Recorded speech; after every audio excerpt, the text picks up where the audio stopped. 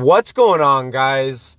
This is Riggs from Clashing FFS bringing you a brand new, and I mean brand new, Town Hall 9 attack guide video. I know a lot of people have been asking me where the series is. Uh, the wait is now over. I know we've done a lot of videos on base identification, exposing weaknesses in bases. So I want to shift that a little bit and actually break down and show you guys the best attack strategies right now at the Town Hall 9 uh, at the Town Hall 9 level, especially with NDL going on. We have MLCW, we have the CWO right around the corner. It will be here before we know it. So I want you guys to be set up and be prepared for um, all the league wars coming up. Make sure you guys are grabbing those three stars. So what better way to do it is to show the attack strategies right now in the Town Hall 9 attack guide.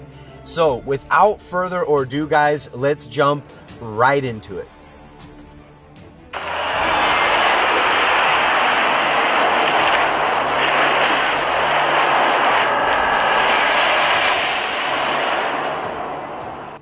Okay, so the first attack strategy that we're going to be featuring in the Town Hall 9 attack guide is the Shattered Goho uh, or you know shattered mass hogs, you know whatever you want to call it. Uh, the general troop comp is pretty much this one right here with some slight variations uh, depending on the base. But you're always looking at two golems, meaning a shattered entry, uh, two golems for your kill squad, anywhere from 20 to 24 hogs uh, is pretty is pretty normal. Uh, anywhere from 8 to 12 wizards, and wall breakers are optional just depending if you need to break into the first layer before you drop down the jump spell. Right after this one, I have an example where there's no wall breakers. They're just going to jump straight in. So, of course, wall breakers are optional depending on the base and what you're trying to do. But this is always going to be the spell comp for this attack strategy. Three heal, one jump. There's no rages. We're not raging anything. We don't have bowlers in the clan castle. What's going to be coming out of that is hogs. Um, so we'll go ahead and pull this up. I know a lot of you guys have been liking this lately, and I'm liking it too. It really does help break down the bases. So little LNH is going to be taking on number 38. Uh, his he's literally nameless. Um, and basically, what you're looking for is a base where you can get a tight funnel set to make sure your heroes go inside of the base. So what he's going to do, he's going to go ahead and drop down a golem right here on this mortar. He's also going to go ahead and drop a golem right here on this wizard tower, meaning that he'll be tanking all of these defenses inside of this compartment. They'll all be distracted. So, in doing so, he's going to go ahead and drop down a few wizards on each side to make sure he gets a nice funnel set. Because if you look at it, once all these buildings are down, right? Once you get rid of all this trash, get rid of all this trash, and then you and then you go ahead and drop down your heroes um, he's going to break in and he's going to have a jump spell right there in the core. So what this ends up doing is he's going to end up taking out all of these defenses here. Just with his golems, just with his golems and with his heroes, and of course the wizards uh, helping funnel, um, he's going to go ahead and take out literally half of this base. So, in by doing so, look at what's left. You'll see he's going to go ahead and, and bring in a bunch of hogs coming in up here. I mean, he's going to flood the gates with hogs, where he's going to go ahead. Uh, let me go ahead, since we've seen the kill squad, we'll go ahead and wipe that out, get a nice clean slate. So he's going to bring in all of his hogs nice and heavy into this uh, first compartment here, where he's going to have where he's going to have a nice heal spell. He's also going to be dropping down his CC hogs up here, uh, where there is a Tesla right there, where he's going to be dropping down a heal there. And you can already see, and again, you're bringing three heals on this attack strategy. So his last heal is going to be for the last few defenses up. That's what makes this attack strategy so strong. Ideally, we'll go ahead and hit play. Ideally, what you guys want to do is to make sure you carve out the defenses on the initial entry and you want to look for either a dead core where there's no defenses at all, meaning you have a nice path, a nice defense path for your hogs. But yeah, the kill squad breaks the defensive ring. You want to make sure your hogs aren't going to split, and you achieve that by making sure there's no defenses inside of the core. You want to make sure your kill squad um, more than likely your king and or your queen taking out the uh, any defenses in the core to make sure you have beautiful hog pathing. Uh, and ideally, you also want a damage CC. In the next example, we will show you guys this attack where there's a hound uh, that will be in the clan castle. Uh, all that does is slow down the attack before you can send in your hogs. Often you need to make sure your queen takes all the pups so they don't peel off onto the hogs. But yeah, we saw the kill squad did exactly what they were supposed to do. He did have a wall breaker fail, but ended up uh, just jumping everything in. Uh, so even with that slight error, jumping in, he was still able to access that core and take out that sweeper. And you'll see he has a split in his hogs, but it's a decent split, especially since he's bringing in those CC hogs to go ahead. And right here, everything meets up where we have that last heal spell pretty much covering all remaining defenses. We will still have a couple defenses right here, but all these hogs are going to be at full health. Um, yeah, we'll go ahead and talk about the Hound CC in uh, the next one, but this is clearly going to be a three star, and you always make sure you send your wizards in uh, after your first hog deployment. Go ahead and bring those wizards down ASAP. Once you send your hogs, drop down those wizards so you can start clean up ASAP. Uh, last thing you want to do is have a time fail, especially on a beautiful attack uh, like this one. So let's go ahead and check out this attack strategy on a different base uh, with a different uh, enemy clan castle. All right, guys. Next up, we have Mr. Player going to be taking on Morgs and a completely different. Uh, whoops, uh, a completely different base layout. Actually, let me let me go ahead and shift this a little bit. There we go. Um, uh, a different base layout. Notice this one, there's no wall breakers. We're just to be jumping straight in. And uh, one thing I didn't mention in the last video, in the last video, in the last attack is the heroes. Uh, ideally, you want to have the king and queen uh, accessible with your kill squad. It doesn't have to be that way um, if you do have split heroes, but minimum you have got to have your kill squad taking out uh, the enemy queen and, of course, the enemy clan castle troops. So, just like we saw in the last attack, we're going to see a golem come down over here, a golem come down over here, and you can see what we want to do on this base is we're going to drop a jump spell right here. Of course, we'll have wizards uh, funneling as always uh, to make sure all the heroes go inside of the base. And ideally, what you want to do is, again, like I said, set. You want to break the defensive ring to make sure you have a clear path for those hogs and where they are headed. You don't even have to worry about air defenses. Of course, this is a ground attack. Uh, so you're looking for things like wizard towers. Uh, getting an expo on an entry is absolutely huge when you guys are identifying bases to hit. Um, yeah, if you can get an expo, get the enemy queen, get the enemy king is definitely a bonus. We do see uh, king and queen both right here. Um, and then you just uh, break that defensive ring, take care of the enemy CC troops, and it's pretty much all up to the hogs from that point. Very, very spell heavy on the hogs, bringing three heals. You're only using a jump and your poisons uh, for uh, the heroes or, or, for the kill squad. Uh, usually, what you're going to do is you have a max C, uh, you have a, a max poison uh, donated in the clan castle. That's going to be for the enemy CC troops.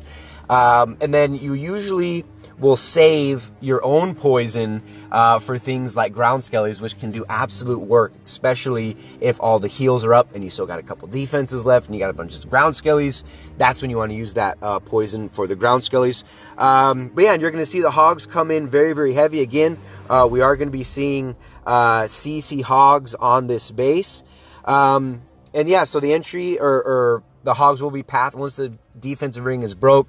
The hogs will be pathing around this base uh, counterclockwise. We'll go ahead and hit play and watch how Mr. Player goes ahead and takes this base down. First golem dropped on the mortar. You do see a couple wizards over here. I'll go ahead and zoom in uh, so you guys can really see it. Second golem down. Uh, wizards getting tanked very, very nicely. uh, by those golems. And you can see right there with the jump spell down, that clearly is going to lead into this compartment where we're going to have a couple wizard towers, where we have an expo. Uh, one thing I also did want to mention is this is a fresh hit. We did not know what was going to be coming out of the CC. Uh, but like I said, the uh, all a hound is going to do is slow down the kill squad. Usually, uh, when you're bringing a rage and bowlers and things like that, um, not that the bowlers can hit the hound, but uh, the archer queen will be inside of that ra- uh, inside of that rage as long as along with some wizards, which helps beat through the hound even faster. When you don't have a rage and a hound comes out, you just have to be a little more patient before um, you send the hogs out. Yeah, so the queen just gets tied up on it a little bit. Uh, ideally, you want a damage CC uh, or a golem CC, uh, but in the event that you have a hound, it can still work like we're going to see. Uh, you can see right there, Queen is just shy of getting that archer tower down, but we did see, or we did see that uh, the kill squad did take out that expo and that wizard tower, which is absolutely huge. Hogs coming in on this wizard tower. Uh, right before he drops down that heal, he's going to go ahead and drop that right over that bomb tower. And notice he does still have CC Hogs to deploy. There they go. They're going to meet up with this group. Uh, went ahead and dropped those CC Hogs on that mortar. Uh, and right here goes ahead and drops down another heal. Uh, that There was a giant bomb in front of that expo. So good heal placement on that one. And you'll see right here a few defenses left. Uh, over on this side, it's mainly just air defenses, uh, again, which are not going to do anything to a hog attack. Uh, but right here, uh, Hogs went ahead and took out that Tesla that was just over the wall, and there's only a couple cannons left. Uh, hogs are nice and full, and you'll see right here, ideally, this is when you'd want to go ahead and drop down those ground skellies, but he's still going to have plenty left up to make sure he gets that three star. Uh, another important thing, again, like I told you guys, getting that cleanup down early uh, especially with something like a Hound CC. If uh, if Mr. Player didn't drop down those wizards in time, this more than likely would have ended up in a time fail. Uh, so again, when you first start your initial hog deployment, go ahead. Those wizards are protected. Uh, go ahead and get those wizards down on that trash to get that cleanup done. So we'll go ahead and check out the third and final example using the shattered uh, Goho. Let's get into it. All right, guys. Next up, we have Baby Epic, aka Mac Lunch. Um, going to be taking on Leo Sohel using the Shattered Goho with the Hogs in the Clan Castle. No bowlers on this attack strategy. Uh, you can see the spells are the same. Uh, jump, three heal. This was also a fresh hit. Uh, so really exposing the weakness in this base. It was very, very nicely done. Uh, very well executed as well. And again, um, it being a fresh hit made it that much sweeter. Uh, so what we're going to see is we're going to see a golem come down on this mortar. And look at the value he's going to get on this entry.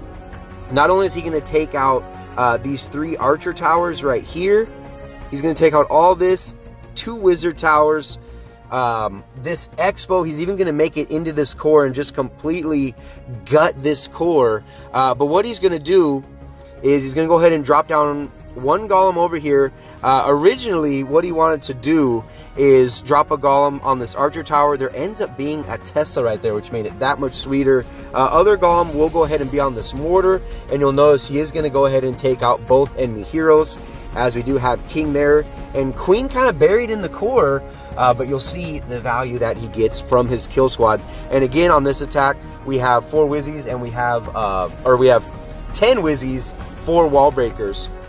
Uh, but you'll see he's going to go ahead and get his wizards down nice and early, and he will be funneling this trash up here at the top.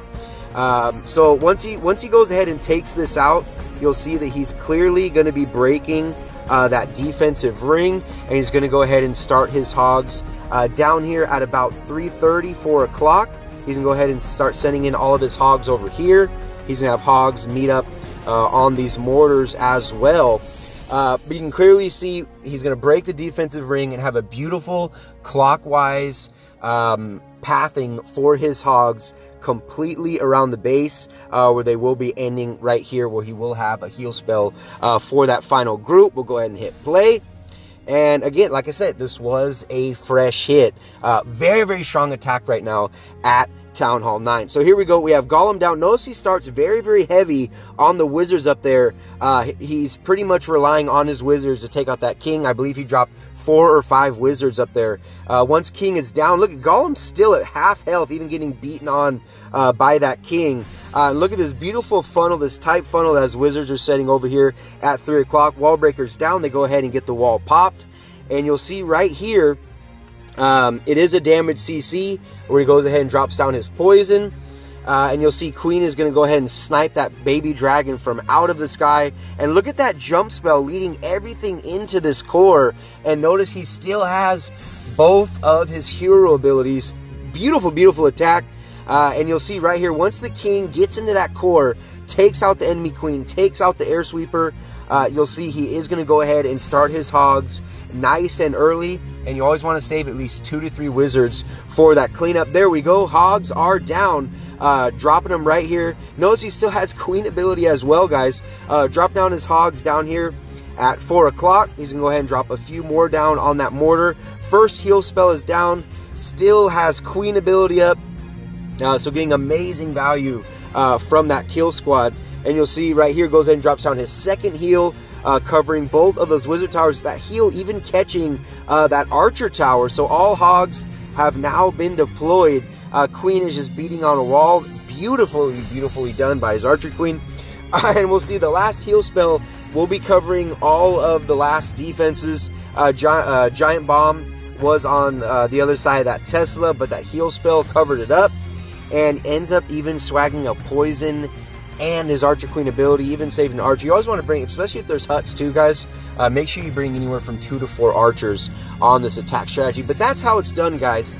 Uh, the Shattered Goho, a very, very strong attack, a very basic attack that does very well whether you're hitting fresh, uh, whether you're doing cleanup, uh, as long as you can get a nice funnel set for your heroes, uh, you can get value from that jump spell where you can break the defensive ring, get rid of any defenses uh, if there are any inside the core, and pick a side to start your hogs on where you got the three heal spells for them. Uh, but that's pretty much going to do it. Hopefully, you guys enjoyed it. Town Hall 9 Attack Guide is back and in full effect. We'll be doing uh, different attack strategies. Uh, we always will be featuring three replays for you guys to really help you out, and we and we are going to be doing the same thing with Town Hall 10 attack strategies. So make sure you guys stay tuned to the channel for that. Hopefully, you guys enjoyed it. If you did, uh, make sure you hit that like button. Comments, questions, or concerns down in the comment section below, and of course, subscribe to the channel if you have not already. As always, this is Riggs from Clashing FFS, and I'll see you in the very next video.